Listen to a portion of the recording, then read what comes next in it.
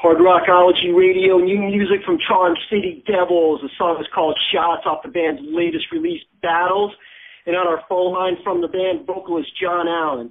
John, welcome to the Hard Rockology Show. Thanks for having me, guys. All right, so you guys got your third album coming out, Battles. It's coming out next week, the 23rd of September. And had a chance to listen to this album, and definitely, my opinion, one of the best albums you guys have put out so far. So are you guys excited about how this album turned out? You're always excited, you know, when when you finally get to release a record, you know, that you put a lot of a lot of work into. I mean, you know, this this record was a you know a year of our lives, and you know, yeah, we're we're uh, we're stoked. We we hope that it uh, we have high hopes for the for the record, and hopefully it'll take us to the next level. And you know, um, we're gonna hopefully be out there touring, support it for the next year or so, and and yeah, man, we're we're fired up. Now, this is the second album you guys have worked with. Uh, Skid Mills now is your producer on this album. So is he pretty much pretty influential? The sixth member. Is he like the sixth member of Charm City Devils now?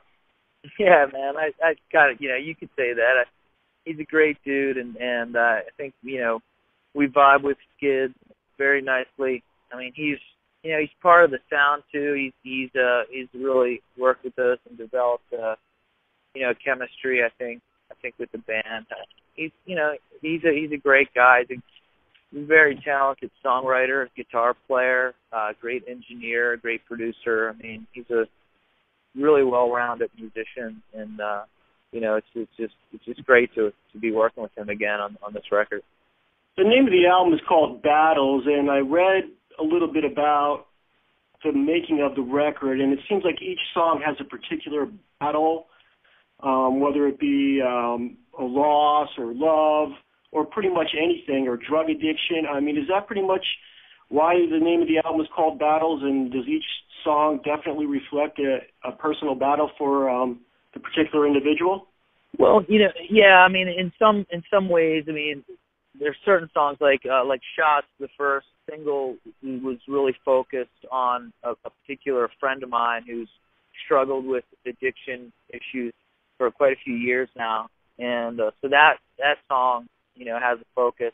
Others, it might be uh, more of a general term uh, or a general uh, outlook lyrically, like say "Tear It Apart" has more of a, I guess the subject matter is just about the the unraveling of the American family and the, and the just the American way of life, I guess. And um, I'm talking about there, and, and yeah, I mean, just struggle in general. I mean, there's a there's a I guess a, a a common thread throughout the record lyrically, you know, and that's that's really life. I mean, you know, sometimes things you know run smoother than others, but you know, we we each have our own little struggles and battles like every day, you know, whether they're big and big and small, you know. So I think that that can you know, it's a common theme that that most people can relate to. Now, this is your third album, like I mentioned earlier. You had, of course, your first album, Let's Rock and Roll, back in 2009, Sins in 2012. So now making your third album, I mean, has it gotten any easier for you guys, or is it just as difficult or just as much fun as the first album was? So, I mean, after three albums, I mean, are you guys doing anything differently? Is it, is it coming along a lot faster? I mean, or is the process pretty much the same? The process has changed over the years because of the you know to a degree. I mean the first album was was a lot of uh a lot of the material on that record was was uh written really before the final lineup of the band was put together. So uh so really since then you know it's it's been a, a kind of a different and, and a more collaborative band effort i feel you know, that's probably why, you know, if if you if you're paying attention, you might notice some sonic differences. And along with with Skid coming on board too, so you might hear a sonic difference between the first record and, and Sins, and then you know that continuation uh, through uh, the new record, Battle. Now, one of the things I got to ask you, you originally started out as a drummer. Of course, you played in right. a couple different bands, Child's Play, SR71. Okay. Right. Now, then you make the leap to being a singer, and I have to ask. I mean, was that something Uh, I know I've read some some quotes by you where you never thought you were a good enough singer vocally, and you didn't think you could do it. I mean, what happened from those two bands to Charm City Devils, where you thought, you know what, hell, fuck, I could sing. I'm going to go ahead and sing. I mean, what what exactly happened there? Well, I think just over the years, I had always kind of, you know, in high school, you, you can never find a, a, a lead singer, right? So I, I would, I would sing from behind the kit all the time, and then those, those two bands you mentioned, I would sing backups a lot, and uh, and lead here and there. But I think the the most overriding thing that happened was I, I, I was finally tired of, of really working on and waiting for uh, the singers to kind of decide what they wanted to do, and I felt like I was kind of trapped, you know, by by being the drummer, you know, just the drummer or whatever. And I kind of thought, hey, you know what? I, I wrote this song called "Burn Baby Burn." I thought it was kind of interesting, and I thought I was onto something, and I thought, screw it, you know, I'm gonna take, you know, grab the bull by the horns and fucking go for it, man. And and uh, you know, I thought if I didn't go for it, I, I'd, I'd regret it, you know, the rest of my life. So I took a chance, and crazy enough, things started happening rather quickly after I started singing for the band, and, and you know, it's just like we went from being put on a big uh, radio festival to then signing with Eleven Seven Music not long after. So it's been it's been a crazy ride, man. It's life is life is weird sometimes. It's uh in a good way, you know. It's so cool to be doing this because I don't know if I was still a drummer, maybe I'd I'd be over it by now. But singing is such a new thing for me that I'm, I really love the interaction and getting out there and playing playing live shows. Man, it's just it's just great. I'm you know I feel like I'm I'm getting better with every show and, and every tour, and, and you know, it's it's uh, it's it's just a blast, man. Well, that's one of the things I got to say. Vocally wise, you frustrate the hell out of me, and hear me through here because listening from the first album, the second album, the third album, it's it's totally different styles yeah, on a lot of on a lot of the songs. So. Yeah, your your style of singing frustrates me. Most singers have a basic style that you can sit there and say, yeah. I know who this is singing. And, and one of the things I've noticed on the new album is, I mean, maybe three or four different tracks where your vocals are completely different. Now, is that something that you've learned? Yeah, I mean, I guess it's deliberate in that I'm trying to sing what I feel uh, best suits the song. You know, I'm trying to complement that the, the tune as well as how how best I think my voice sounds on the on the particular track. You know, and I like I've said before, with each record I try to push the envelope. I try to sing higher on some tracks, you know, and and lower. So I'm, you know, my my vocals. I've been really fortunate through touring and and everything. Have they seem to keep improving with with each record. I used to when I did first start this band. Going back to your previous question. Um, I kind of was, was insecure about my my voice, and I I would mask it in a lot of like distortion. I I, I sang through like guitar distortion pedals and stuff like that to kind of make it interesting and give it bite. And now, um, you know, I'm confident enough to kind of just get out there with with no effects really and, and sing, you know, dry and and uh, and go for a more natural sound. So yeah, I mean, it's it's a it's you know it's an ever developing thing for me, and and you know I, I kind of I look to singers that I think are really great, like somebody like Axl Rose, and I remember you know, hearing that first record and of theirs, and and he would sing low on some parts and then sing high on other parts, and and and same thing on you know from song to song, and you know I kind of felt like I guess you did that that I was like wow you know like you know you know which you know which which style is this, but it that it, it it all is you know it's all part of what he does, and maybe I don't know maybe that's that would be my thing too is, is in some similar kind of fashion. I don't want to compare myself to to him. I think he's he's phenomenal, and, and you know. Uh, I, can, I can definitely I can definitely hear some of the influences from Axl on the new album. Um, you did mention that you played drums before in, in a couple of the other bands that my brother Matt mentioned, and one of the biggest battles I read for you is converting a music skeptic when you when you're uh, performing live. I mean, how difficult is it to really get people excited about what Charm City Devils is doing? Because you guys have played with a lot of big bands, and when you first started out, I mean, it's really tough for an opening act to get everybody's attention when they're there to see, say, Guns N' Roses or Slash or Aerosmith. So how did you go about handling that? Yeah, I mean, we've been really fortunate. I mean, you know, we we tend to uh we we do we do I think we do pretty well, man. I you know, like we uh we were just talking about this. Like we can play with bands that are I think heavier than us and and and bands that are maybe lighter than us or slightly outside of our our uh, wheelhouse, as they say, and, and uh, still, you know, convert people over. And and I don't I don't know what it is or you know what what factors into that, you know, but uh, but yeah, I, I love that challenge. I love you know, and I think it's, a lot of it stems from you know just being an unknown band. And the reason that this all has really come up in the in the the interviews or whatever is is that we over the summer we played with um play with the, the winery dogs, and all those guys are like super, you know, talented, crazy musicians. You know, up there on the stage, you got Mike Portnoy and Billy Sheehan and and Richie uh, Kotzen up there, and they're all virtuosos, and and we're more of a straight straight ahead rock band, you know. So some of the audience out there, they're like, you know, frustrated, you know, music school graduates or whatever, and, and they're, you know, they're up there to see these guys do their incredible thing, you know. And a couple after a couple of those shows that we played, like I had people come up to me at the merch table and they were like, "Man, you know, I thought you guys were gonna suck, but you guys are fucking awesome," you know. And I just thought it's the it's one of the funniest things that anybody ever, you know has ever said to me. You know, after a, a set, you know, it's like like why why did you think we were going to suck? I mean, like what what preconceived notion?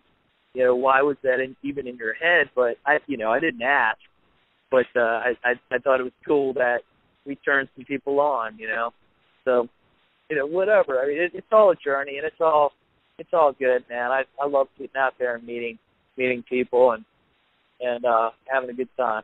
So when the band first started back in 2008, you guys got on Crüe Fest right away, uh, Nikki Sixx's label, Eleven Seven.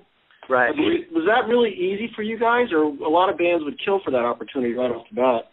It was uh it was surreal, man. It was like uh, you know, I expected every day to just wake up from this incredible dream. I mean, you know, I just I I I couldn't believe you know what had happened. I mean, here's know, a band that that I grew up on, you know, was a fan of, you know, I'd seen in concert, uh, you know, in arenas or whatever, and and uh, the way it unfolded was surreal as well. Like we, you know, I've I've had a couple record deals, and normally you have to, you know, you have to go up and you play for, you know, if you have the f- good fortune of having somebody interested in you from a record label, then you then you gotta you know go up and showcase for them at least a couple you know a couple of times or three times four times five times. You got to keep going back and play for this guy's boss and then you got to play for his boss and you got to play for his boss you know and you got to convince you know the label at least at least in the situations that I've I've been in prior to this but this uh getting the deal with with Nikki's label was was so different it was you know we were we were getting airplay from a demo of the song Let's Rock and Roll in our hometown. And I just sent off an email. I actually sent off a bunch of emails to uh, contacts that I had made in the in the you know music business, and all those people. None of the none of the none of those people got back with me. Um, but I didn't know anybody up at Eleven Seven, and I sent a, just a blind email up and said, "Hey, this, my name is John Allen. This is what I've done in the past this is uh, what I've got going on now. You know, 98 Rock here in Baltimore is playing the song. You know, it, it's apparently doing really well. And uh, they checked up on me. They called the station, and the station told them, yeah, you know, song, and people were reacting to the song. So, you know, it just was, went through from there. Like they they called me and and uh, were like, you know, we want you to come to New York and have a meeting. And I I went to New York and by the end of the lunch, the you know the CEO of the label was like, "Okay, let's do it. Let's let's uh, let's do this deal." And I I shook the guy's hand on a street corner, and the next week he named Nikki Sixx the, the president of the label, and and Nikki was like, "Yeah, man, I love this band." And you know, Aerosmith, ACDC, you know, dirty rock band, and and it went from there. I I, I couldn't believe we just had a you know we we got a deal from from a handshake on a New York City uh, street corner. I mean, it just never happens like that, and and it did in this case. It was fantastic. I mean, and then from there, you know, they they put us on Crüe Fest, opening the main stage for Motley Crue, Godsmack, Theory of the Dead Man, Drowning Pool, and, and us. We were we were the first band on the on the main stage that year, and I mean, I I had never sung in front of the band on any kind of tour at all. That, that was my first experience. Like right out of the gate, I was thrown thrown in the deep end of the pool, man. you know? But uh, yeah. hey, you know, it was awesome. Yeah. And it's just all from just sending an email to a, a label, taking a chance. The worst I could say is no. That's what I always tell everybody. You're never going to know any answer unless you try, and the worst anybody can say is no. And in this case, it was yeah. a very big yes. Yeah, I mean, you you know, one of the things that that uh, that you have to not be afraid of is failing. I mean, that, that's the thing. You know, you can't be afraid of failing. You can't be afraid of failing in public. I mean, you, like you said, the email. I mean, we're in a new we're in a new era here. You know, there's there's, but I don't think there's ever been any kind of rules as far as the music business goes. There's never one set path on the how to get signed and how to how to make it in the business. You know, you everybody sometimes I think needs needs to find their own path, but you know the basics are always the same. You gotta you gotta you know write great songs and and uh, if you're a rock band, you gotta you gotta be a kick-ass live rock band, you know, to to get you know people excited and interested in you. You know. Yeah, we're talking to John Allen, lead vocalist for Charm City Devils. Like I said, you got a brand new album coming out, Battles. I want to ask you uh, a couple questions about a couple tracks on the album. One of the tracks, actually one of my favorite tracks on the album is Every Day. So can you tell me a little bit more about that track on that album?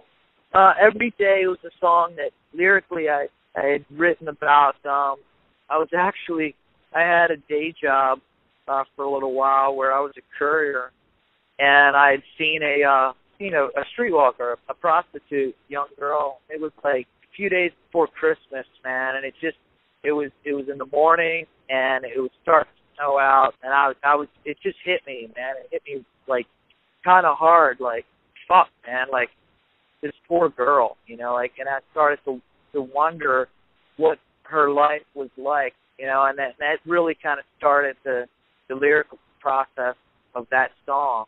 And then and, and first verse is really about her, and then the second verse is about is about the things I saw as a as a as a kid growing up in East Baltimore. There was there was a uh, main like shopping district on Eastern Avenue in East Baltimore. My uncle owned a little little store, and I remember hanging out at that store and and you know the the, the characters that I used to see on the avenue there were were just etched in my brain, you know, at a young age, and I, you know, I I kind of talk about uh, you know, a couple of them in the second verse. And that song is, you know, about like, yeah, I guess just humanity and, and, and different people and different walks of life and, and the struggles that they that they go through. And the second verse focuses on a guy who was a gentleman who was blind and he used to stand outside of my my uncle's store and and sell pencils out of a old cigar box, man. And he would stand there and he he'd talk to himself and he'd yell at himself and berate himself and I you know, this poor guy, man, you know, like the, the existence, you know, what kind of existence he he he had to, to deal with throughout his life. And that's uh between him and the and the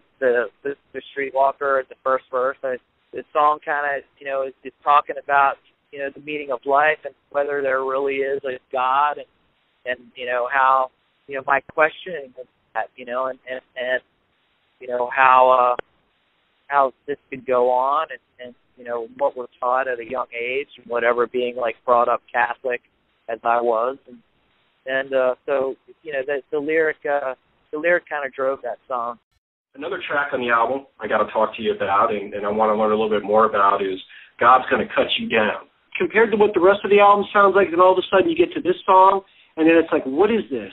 So, John, right, tell us right. a little bit about this song.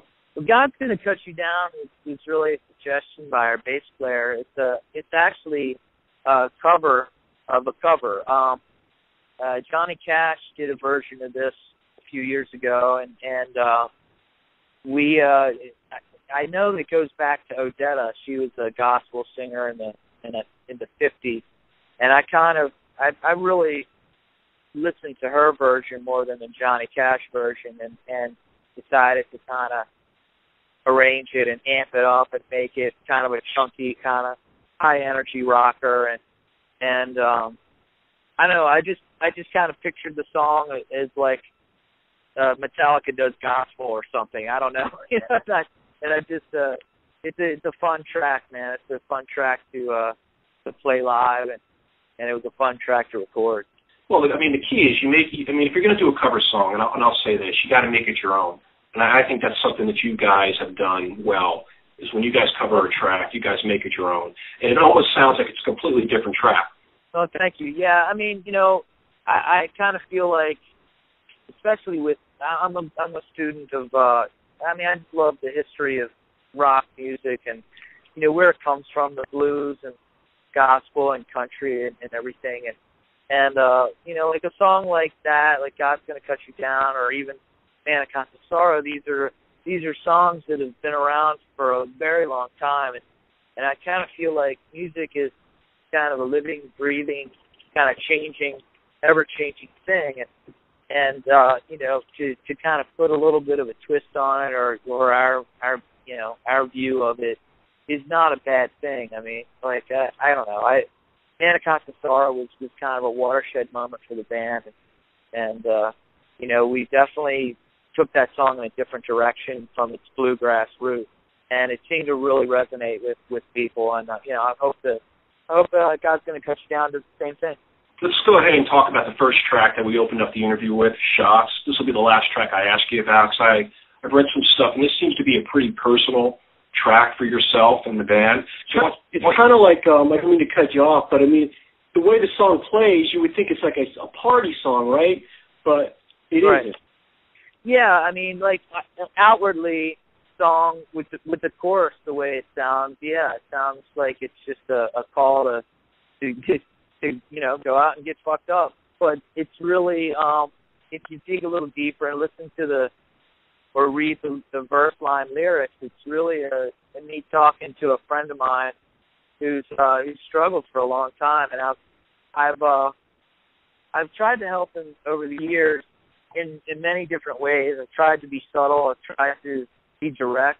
I finally said, you know what? I'm, this song is going to be an open letter. You know, albeit a little angry to him, and hopefully it'll it'll it'll wake him up a little bit or something, or or or maybe it'll just piss him off. But in, in any event, maybe it'll get him, you know, to to seek out some help and to try and get his his addiction issues under control in some some form or fashion. You know, like and I care about him. I hope uh hope he, he he you know comes through it and I, you know I want him to to be around in quite a few years. I mean, I I lost another friend uh a few years ago. Actually, the day we released the last record is when he died, and I, and we think it was a result of his uh his addiction. And I don't want to I don't want to bury another another friend.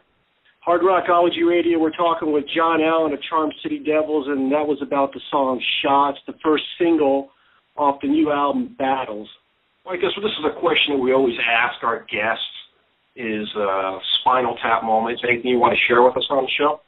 I've had a lot of like they're not even spinal tap moments because it never happened in the movie, but I've had a lot of moments where um in the last couple of tours where I've been so exhausted and and I'll I'll hit a note on stage where I I completely feel like I'm gonna I'm I'm that's it I'm gonna completely like fall over and pass out where the room starts going black you know somehow I kind of I pull it back together and and uh and I come back to consciousness. But uh but yeah, I mean I I had a vocal teacher years ago that told me if you hit a note really true, man, that you could you could uh totally pass out. And I've I've had a couple of those moments where it's like it's the best high like I've ever experienced, man. And uh but and, and you know, I could it's it's crazy, man. Like a couple of the shows on the Winery Dogs tour, like I'm like, okay, that's it. Tonight, tonight, I'm falling off the front of the stage, man. but I, there you go, there you go, man. It's that's a that's a Spinal Tap moment. You hit the ultimate note and you black out. It's the Charm City that's Devils it. orgasmic moment. Yeah, Charm City Devils right. orgasmic moment. it's right. It's it it it's resonated. It's just you know you can hear the resonance. Yeah. In, in my skull, in my skull. All right, John. Well, thanks for uh, being part of the Hard Rockology Radio. So, uh, what's going on for the band the rest of the year? You got obviously the album's coming out in a couple of weeks, September 23rd on VN Records, a great label. A lot of great bands on that label. Uh, I would imagine you're going to follow it up with a lot of touring. Uh, recently, you were on the West Coast. Any plans to come back around to the West Coast again? Yeah, I hope so, man. We we uh being an East Coast fan, we have a hard time getting out there, uh, you know, in a, on a regular basis. But uh, I really hope we get back out there. Cause we uh, we love, you know, getting to, to California and um, you know all points in between. We've had a lot of recent success in the in the mountains, you know, in Boise and Denver and and uh, Spokane, and so we're you know ho- hopefully we'll uh, we'll get back out there real soon. I mean, the rest of the year it's going to be touring, touring, touring, and radio shows. And so, uh, you know, hit us up, hit us up on Facebook to, to get updates about the the shows and and uh, write to us, man. We we always write back. All right, John. Like we do with all our guests on the Hard Rockology show, why don't you go ahead and close out this interview by introducing another track off your brand new album, Battles. Sure. This next track is called Want. Man, this is a this is all the, the band right here, man. We uh, just started jamming on this cool riff, and and uh, the song popped out. It's one of those ones that that were written like in ten minutes. So uh, enjoy. Two, three, four.